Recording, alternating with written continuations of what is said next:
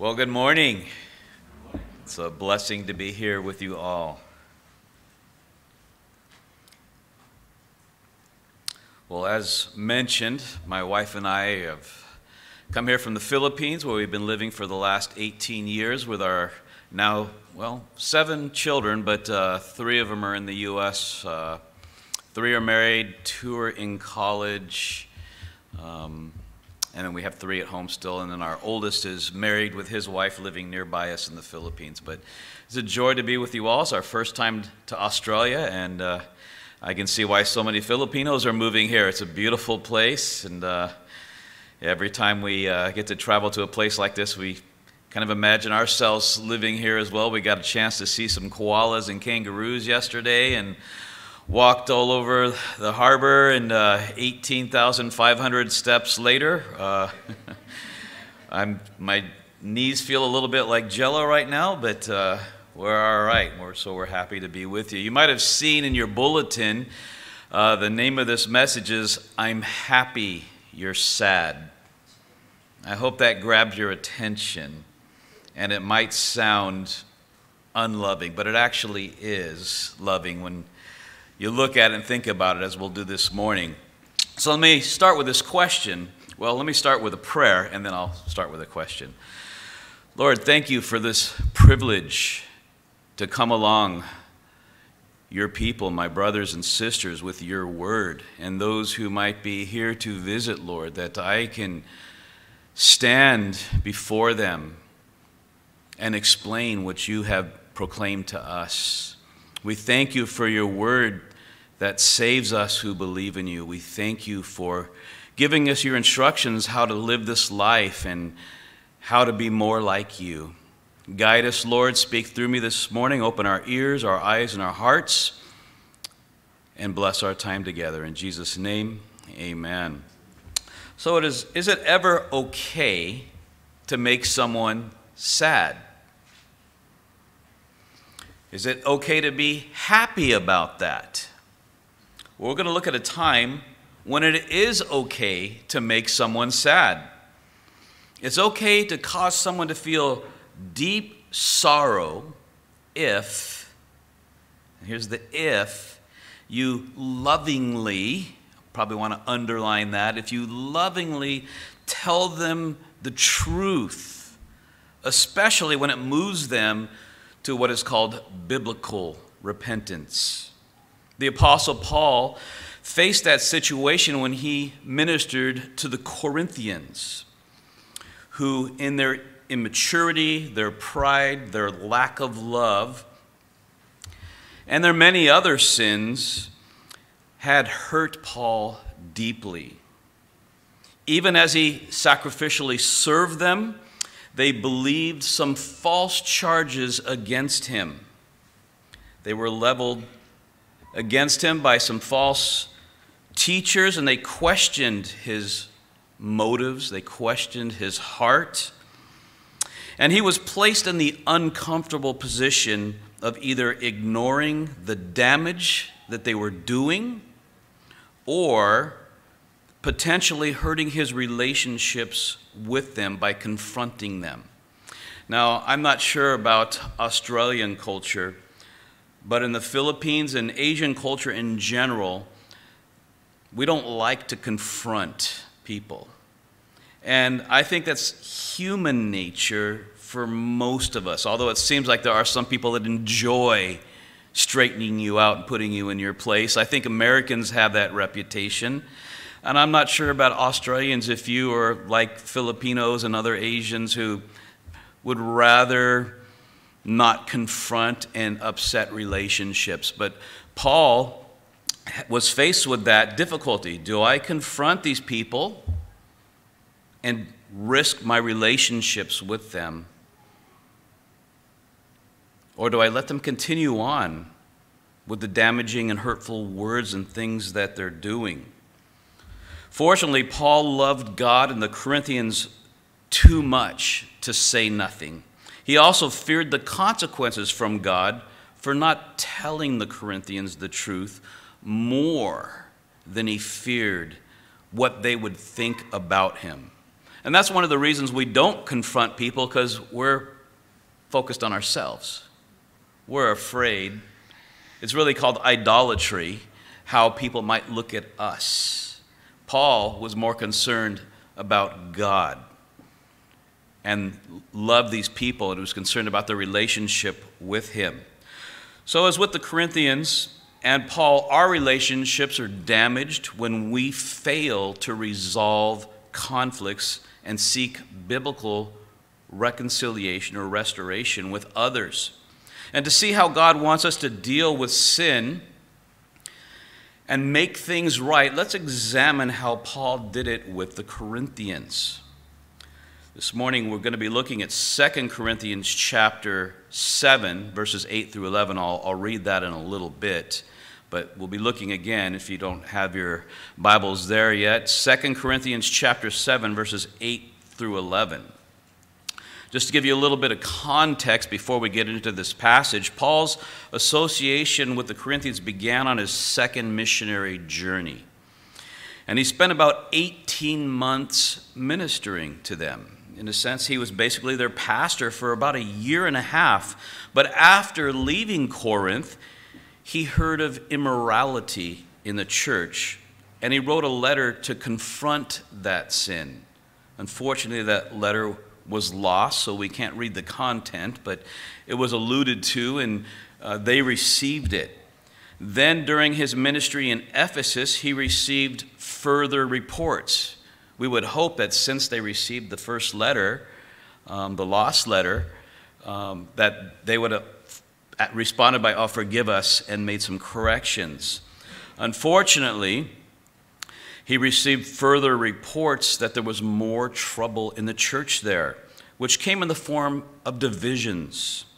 Additionally, the leaders of the church wrote uh, from Corinth to Paul a letter asking for clarification on some issues. And Paul responded by writing the letter known as 1 Corinthians to them. Unfortunately, there was more disturbing news that reached Paul. He was told of problems in Corinth, including the arrival of false apostles who assaulted his character. And those problems resulted in Paul visiting the church again you would think with a few letters now, him coming in person, finally they would perhaps respond in repentance in a godly way, but it did not go well. They did not respond well. They didn't defend Paul against the false apostles and the false teachers. They were not uh, responsive to Paul's teaching. So he left Corinth and went to Ephesus with a heavy heart. Then he wrote them again what has come to be known as the severe letter. This time, Paul was greatly encouraged by their response to this letter. And he said in 2 Corinthians chapter 7 verses 6 and 7, he said, "God who comforts the downcast comforted us by the coming of Titus, and not only by his coming, but also by the comfort which he has comforted or was comforted by you, the Corinthians, as he told us of your longing and your mourning and your zeal for me, so that I rejoiced still more. The Corinthians' response to being rebuked for their sin gives us a beautiful picture, a beautiful example of the God glorifying results that are possible when we love people enough to tell them the truth. And our passage today shows us three reasons why we should be happy when we cause people to be sad to the point of causing them godly sorrow. So here's these three reasons. We should rejoice when people have godly sorrow because, first, it results in repentance. We see that in 2 Corinthians 7, verses 8 and 9. Secondly, we should rejoice when people have godly sorrow because it leads to salvation. It says in verse 10. And then in verse 11, we have this third reason that we should rejoice when people have godly sorrow, and that's because it produces a desperation to make things right. Now, before I read this text, bear this in mind as well. We can look at this text, this text as diagnostic. We want to apply this to ourselves. If you find yourself in the situation where you need to repent to somebody, measure yourself against this. Does this describe the way I express my sorrow? Or if someone needs to repent and say they're sorry to you and ask you forgiveness, does their apology and their request for, for forgiveness look like this? Because this is what we want to aim for. And that Psalm 51 that was read earlier, I believe it was very difficult for Nathan to rebuke the king who could have set off with his head, basically. He did it. And I'm sure that even though he made David sad initially, he was, he was glad and happy he did that because that restored David's relationship with God. All right, so listen as I read 2 Corinthians chapter 7 verses 8 through 11. Again, Paul rebuked them and he, he wrote them. He said, For even if I made you grieve with my letter, I do not regret it. Though I did regret it, for I see that that letter grieved you, though only for a little while.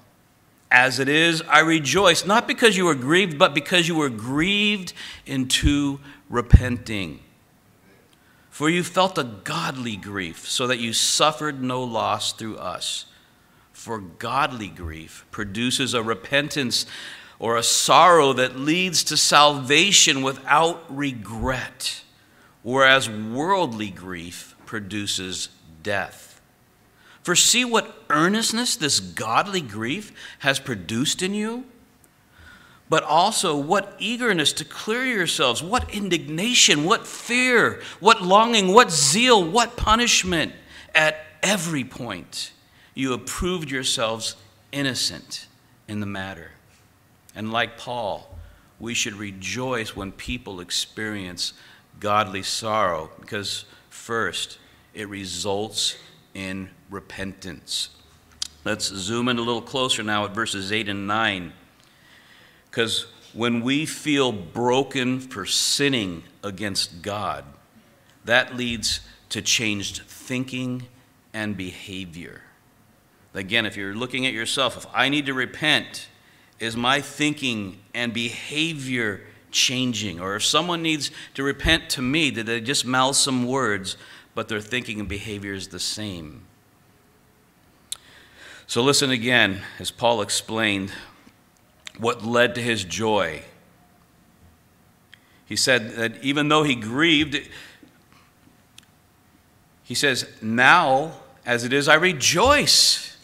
Using my title, I'm happier sad, or worse sad, because, not because you were grieved, but because you were grieved into repenting, for you felt a godly sorrow. It wasn't easy for Paul to write a letter to rebuke the Corinthians. He knew, as he says, he knew it would grieve them. In spite of that, Paul explained why he wrote this, what's been called the severe letter in 2 Corinthians chapter 2, verses 3 and 4. We can see his explanation of why it was necessary to write that letter. Um, I like that. I'm hearing some Bibles turn. 2 Corinthians 2, starting in verse 3 I wrote as I did, so that when I came, that is, on his next visit, I might not suffer pain from those who should have made me rejoice. For I felt sure of all of you that my joy would be the joy of you all. For I wrote to you out of much affliction and anguish of heart. Again, it wasn't easy for him to confront them. I wrote with much affliction and anguish of heart and with many tears, not to cause you pain, but to let you know of the abundant love I have for you. That was his motivation. He loved them too much to be silent. He didn't want them to continue with broken relationships with him, with other people, and most importantly, with God. And Paul was not a harsh man. He didn't enjoy this, although you may know people, I've seen people that seem to enjoy correcting and confronting people. Paul wasn't harsh. I don't think he enjoyed it. As he said, anguish and tears, he did it. excuse me, 1 Thessalonians chapter 2, verse 7 gives us a glimpse of how Paul dealt with people. 1 Thessalonians 2 7, just establishing that he's not a harsh man. He said in 1 Thessalonians 2, verse 7, We were gentle among you, like a nursing mother taking care of her own children. That's how Paul, as a pastor, as a missionary, as a church planter, felt about the people that he was serving and loving on. And because he loved God and his people so much, he had to speak up and confront sin, even if it caused them to grieve that the New Testament uses the word grieve 26 times, and it can be translated to cause pain, to cause sorrow, to cause distress. Paul fully knew I'm going to cause pain to these people who I was their shepherd. I'm going to cause them sorrow, I'm going to cause them distress, but I have to do it. He was able to confront and grieve them because he was more concerned about them being right with God. That's what we need to keep before our eyes when we do this. He was more concerned about them being right with God than he was with them about them being angry with him or judging him. Scripture encourages us to, encourages us to have the same kind of love for each other. Proverbs 27 5 and 6 says, Better is open rebuke than hidden love. Faithful are the wounds of a friend, but profuse. Many are the kisses of an enemy. Proverbs 28 23 says, Whoever rebukes a man will afterwards find more favor than he who flatters with the tongue. Perhaps the clearest passage on confronting and discipline. is found in Matthew chapter 18, verse 15. It says, If a brother or a sister sins against you, go and tell them their fault between you and him or her alone. You do it in private. If he or she listens to you, you've gained your brother or sister. That's what we want. And that passage comes in the context of restoration. Paul modeled this when he rebuked the apostle Peter in Galatians 2 11 through 14. Can you imagine? The apostle Peter walked with Jesus for years, served him, was one of his right hand men, and Paul had to rebuke him. That must have been intimidating. Even, even though Paul was an apostle himself, he's one who came later he said in Galatians chapter 2, 11 through 14, he said, When Cephas came to Antioch, I opposed him to his face because he stood condemned. For before, certain men came from James. He was eating with the Gentiles, but when they came, he drew back and separated himself, fearing the circumcision party. And the rest of the Jews acted hypocritically along with Peter so that even Barnabas was led astray by their hypocrisy. But when I saw that their conduct was not in step with the truth of the gospel, I said to Cephas, before them all, If you, though a Jew, live like a Gentile and not like a Jew, how can you force the Gentiles to live like Jews? You're being a hypocrite. The point is, Paul called him out. It's interesting preaching this message. I've preached this before in the Philippines, and it, perhaps because of the Catholic culture, uh, the nation is mostly uh, Roman Catholic, and they have a very high view of. It used to be the priest, It'd be like God's anointed. You don't say anything.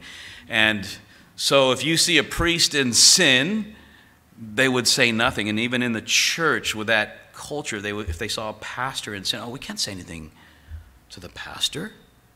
We have Paul here saying something to the apostle Peter. We are all God's one family. We all need each other. We really depend on each other. We all have our blind spots, every one of us.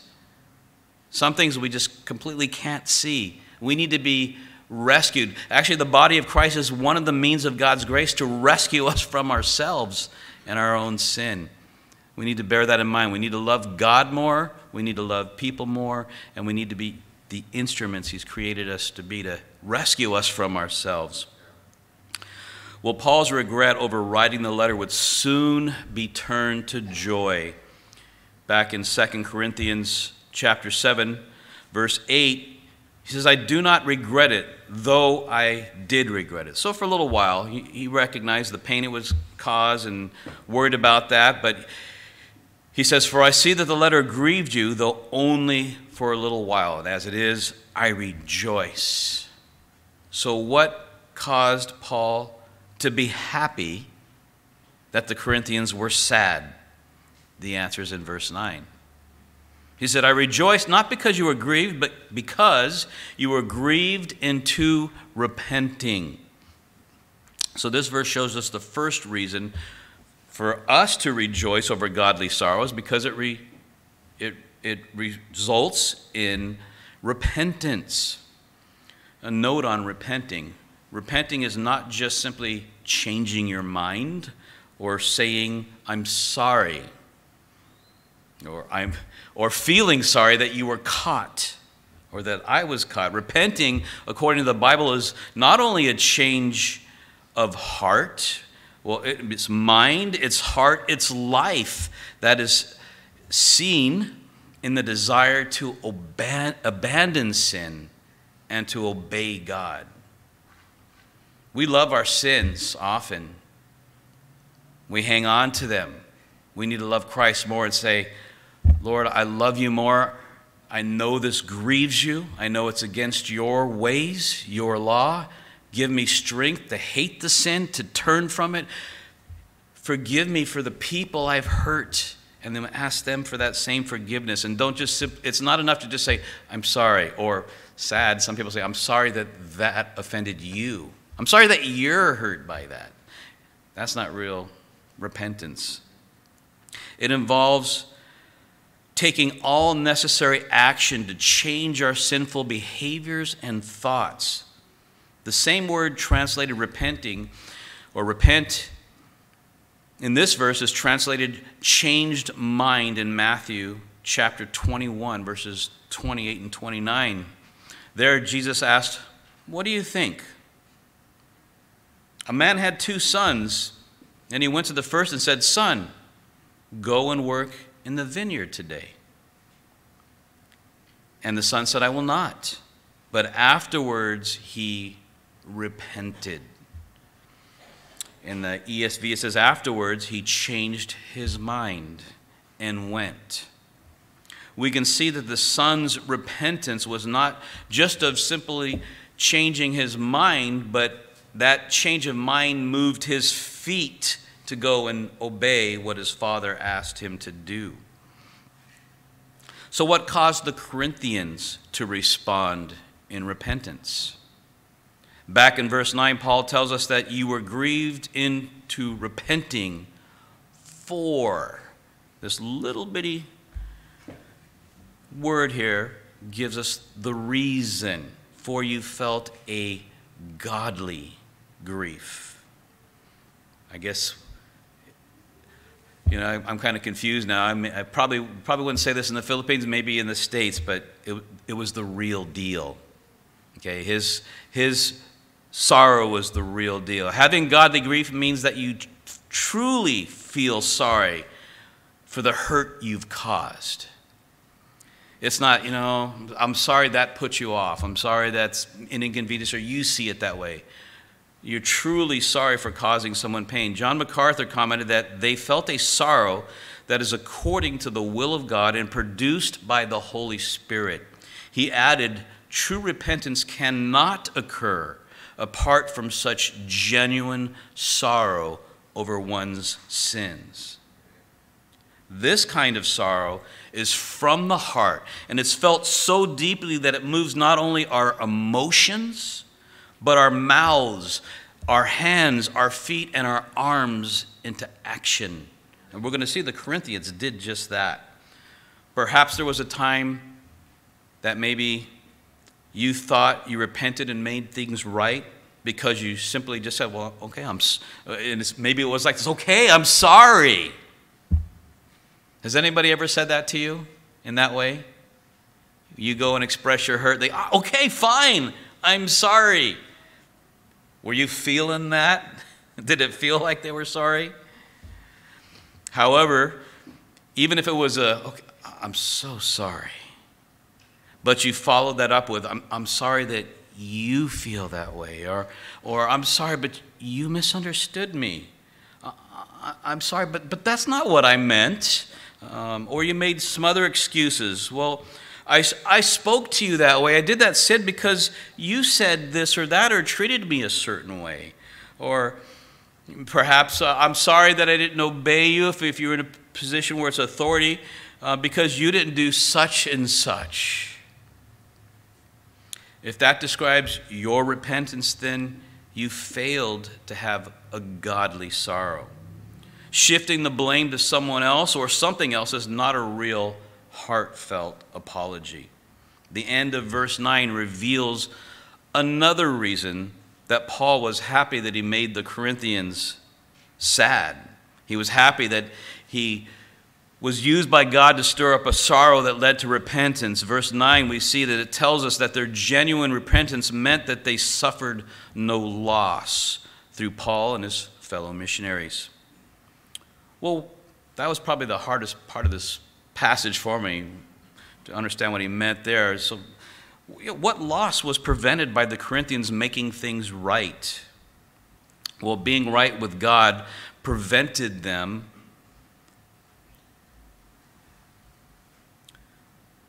from losing rewards, opportunities, and being disciplined. Um, maybe I'm not phrasing that right. Because they were rebuked and because they responded the right way, they didn't suffer any loss. They, they were able to get the rewards that obedience brings. They were able to get the opportunities to serve God that obedience brings. If they would have continued with their excuses and blame shifting. They would have, even doing good things outwardly. You can go out and evangelize and all that and serve God, give money to the church, but if your heart's not right and you've got um, broken relationships, you've got unbroken patterns of sin, we can't expect to be in that constant state and be blessed by God. We can't expect that if we're in a, a state of un, or unbroken pattern of sin that God's going to help us understand His Word and give us opportunities to serve them. But because they repented, they didn't suffer any loss. They were able to receive the rewards that God wanted to give them as they faithfully served Him. 1 Corinthians 3:15 says if anyone's work is burned up he will suffer loss. Another way to say it is if, if when God judges us based on our works, if you're saved, you're not judged for your salvation, you're, you're His, you're held firm in His hand, but He will judge how faithful and obedient we are to the opportunities He gives us. And as our work, our motivation, as our heart in doing those things are judged, and it's not for God glorifying motives, then we'll suffer loss though, it says in this verse, though he himself, she herself will be saved, but only as through fire. Or 2 John 8, watch yourselves so that you may not lose what we have worked for, but may win a full reward. And if they repent and are right with God, they will not suffer loss and get a full reward from Him. So, so far in this first part of this passage, we've seen that we should rejoice when we cause people to have godly sorrow over sin because it results in genuine repentance. Verse 10 shows us a second reason we should rejoice when people experience godly sorrow because it leads to salvation. We should praise God when broken people turn from sin because only then can we be right with Him. Here in verse 10, Paul contrasts godly grief against worldly grief. He wrote in verse 10, 2 Corinthians 7, verse 10, For godly grief produces a repentance that leads to salvation without regret, whereas worldly grief produces death. He doesn't say this, but I'm sure worldly grief, when it results in death, there's going to be eternal regret. As people reflect on, I mean, just imagine this the last thing you see before being separated from God is the beauty of God and His goodness and His holiness. Maybe you even thought, I'm His.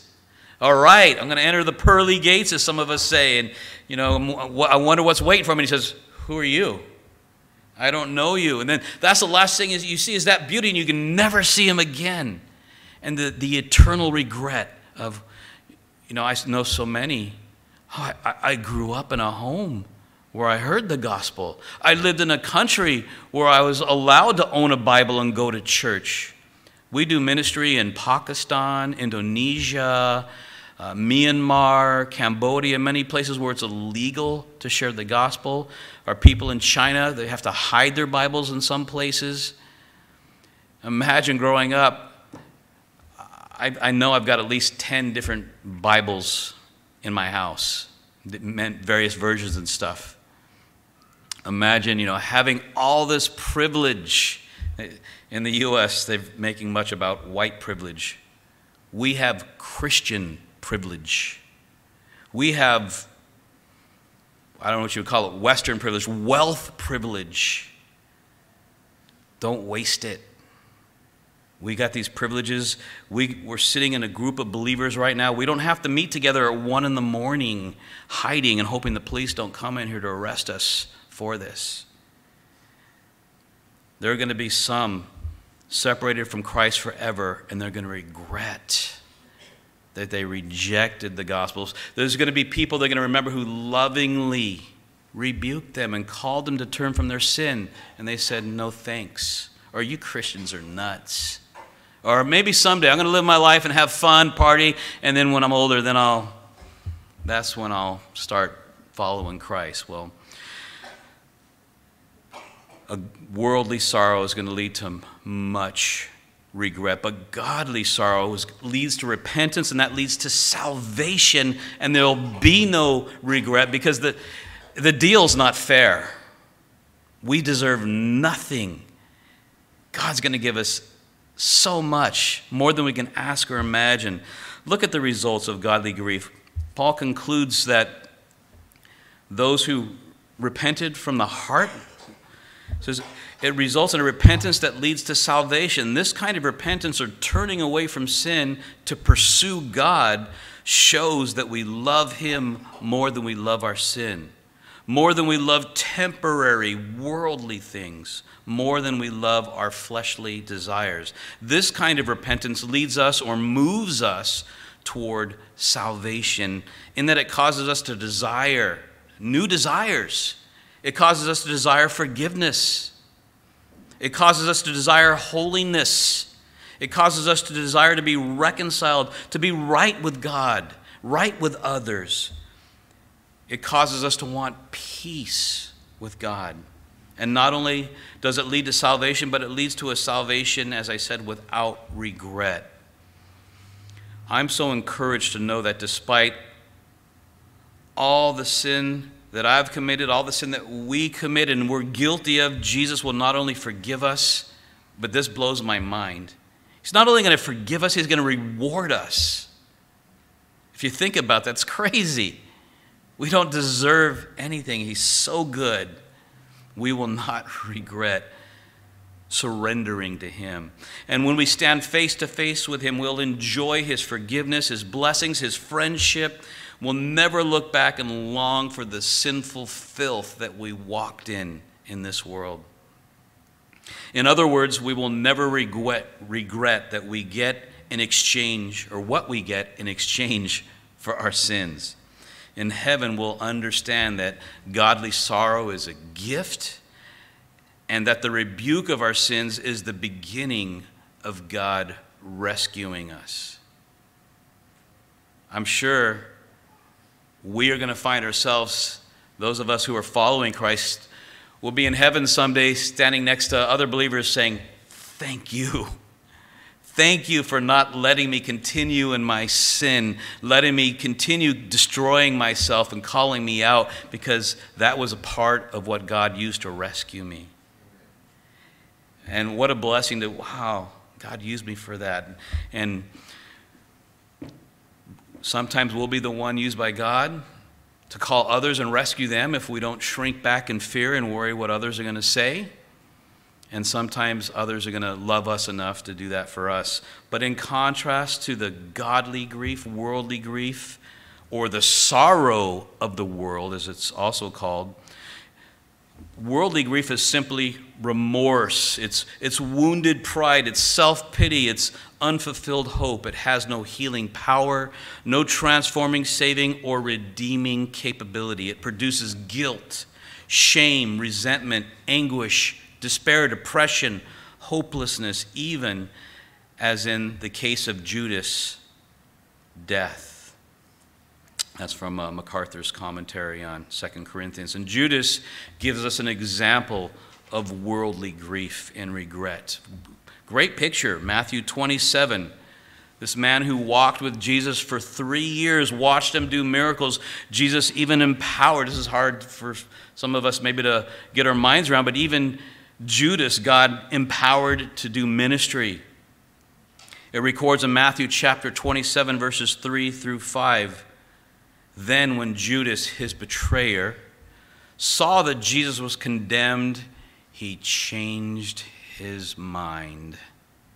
He repented, but it wasn't a godly repentance, it wasn't a godly sorrow says he brought back the 30 pieces of silver to the chief priest and the elders saying i have sinned by betraying innocent blood they said what does this have to do with us? See to it yourself and throwing down the pieces of silver into the temple he departed and he went and hanged himself. He felt maybe depressed he felt guilty but he didn't have a godly sorrow. So we've seen that we should rejoice when people have godly sorrow over sin because it results in repentance that leads to salvation. Verse 11 gives us this third reason to rejoice if we'll obey God and cause people to have a, a godly sorrow. It shows us in verse 3 that godly sorrow produces a desperation to make things right. As I said, this is diagnostic. If you need to repent, measure your repentance? Is it like this? Is this how you make things right and show that you're sorrowful? Or the other way around, if someone needs to repent to you and you're wrestling with, is it real? It should look like this if it's from a follower of Jesus. When you are truly sorry for your sin, you will work hard to fully reconcile with those you've wronged. It says here in 2 Corinthians, the last few verses of this text this morning, 2 Corinthians 11, actually, I guess it's the last verse. Paul said, No, I'm going to do, is it a few more? It's cutting off on the top of my page, but let me read here verse 11. For see what earnestness this godly grief has produced in you, but also what eagerness to clear yourselves, what indignation, what fear, what longing, what zeal, what punishment. At every point, you approve yourself innocent in the matter. The Corinthians' response to being confronted for their sins must have been such a great encouragement for Paul. They didn't respond with half hearted answers like, well, fine, I, am sorry already. Can you, can you stop? You know, I said I'm sorry. They didn't make excuses or make minimal attempts to fix things. Their response serves as a model of how we should think and act when we are truly sorry for hurting others or when someone's hurt us. Paul observed in 2 Corinthians 7:11. Let me ask one quick question. There is a chain of stores all throughout the U.S., and they're everywhere in the Philippines called 7 Eleven. Do they have those out here? They do? Okay, I hadn't seen one yet, but I use this, this helped my Filipino brothers there. If you need to confront somebody or you need to repent, take them to 7 Eleven. Okay, we want to go to 2 Corinthians 7 Eleven for our instructions on how to make things right. I tell you, it's funny, but years later, people, oh, yeah, 7 Eleven, I remember that. Helps me remember if I'm counseling someone, you know, and we need to discuss reconciliation and repentance. 2 Corinthians 7 11. For see what earnestness this godly grief has produced in you, but also what eagerness to clear yourselves. They had a sense of desperation, is the way I summarize this section. Desperation to make things right. Paul showed that this was done in several ways. First, he said they had an earnestness. That means they were moved to act quickly to make things right and were diligent to fix the damage that was done. When we have this kind of zeal to make things right, it shows that we are truly repentant. repentant. MacArthur states that earnestness is the initial reaction. I highlighted in my notes reaction because there needs to be action. Earnestness is the initial reaction of true repentance to eagerly and aggressively pursue righteousness. This is an attitude that ends in difference to sin and complacency about evil and deception. Their sense of desperation to make things right also, not only did it cause them to be earnest, but it also caused them to be eager to clear themselves. Not eager to make excuses, not eager to justify, eager to answer for their words and actions with a readiness to make amends. Previously, the Corinthians tolerated the false accusations against Paul. They listened to false teachers and were unloving to each other. And once they were moved to sorrow for their sin, they were eager to undo all the damage they had done. And likewise, we can show our sorrow, our godly sorrow over our sins, by being quick to correct our sinful behavior and thinking, and quick to clear ourselves of the offenses that we've committed. This means doing whatever is necessary to make them feel safe, to earn back the trust that we broke or was broken as much as possible on our part. We need to repay, we need to repair whatever damage was caused. I've counseled, sad to say, uh, several couples over the years where adultery was committed. And on top of that, I, I saw this with my own father. And several men who just didn't understand I said I was sorry already. Why doesn't she? Why is she still asking me where I'm at at nighttime? Why do I have to be home so quick? Why do I, why is she asking for these, you know, demands of what I'm doing? And maybe she wants me to be there. She just needs to trust me, because because last night I said I was sorry. Trust has been destroyed. It needs to be earned back. I've told men it's on her timetable. Or if the woman was the offender, it's on his timetable if you were truly committed to restoration, the consequences of your sin is this pain, this hurt, this lost trust. They've forgiven you. You're in the same home. You're not on the couch. You're not running a flat somewhere else. You're, you're together working on this according to their timetable. Be eager to show your sorrow, not just with words, but with action, with patience, with the time that it takes to do that. Paul also mentioned here, he said, What indignation you have in showing your godly sorrow. They had an anger or disgust over their sins. Originally in Corinth, there was toleration of sexual sin. 1 Corinthians 5:12 says it's actually reported that there is sexual immorality among you and you're proud. Shouldn't you rather have gone into mourning? Shouldn't you be ashamed? He goes on to say they had lawsuits, there was jealousy, there was fighting, there was division in their church. Before they were unashamed and they were practicing immorality, they were self focused. But after, when they were confronted, because Paul loved them enough to do that, and when God granted them that sorrow, they were convicted. They turned from their sins. They were ashamed of them. They hated them. I, I don't know about you, but sometimes I have to pray, Lord, I know that sin's wrong.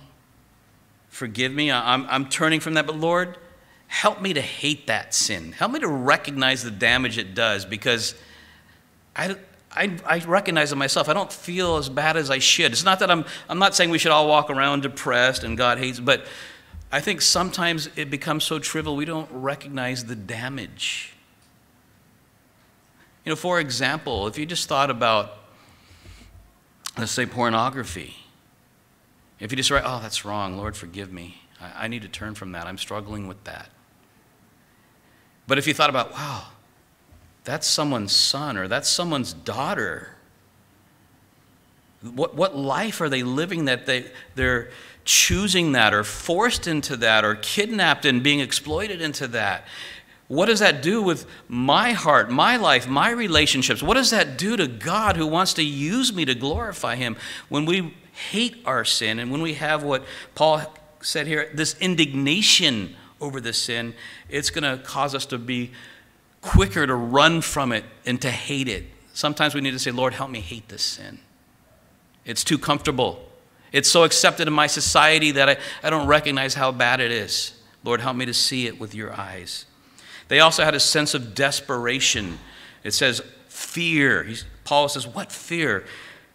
This caused them to have a conviction of their sins, and it brought the fear of God on the Corinthians, understanding this is the one who gives me my every breath and has every right to end me right now.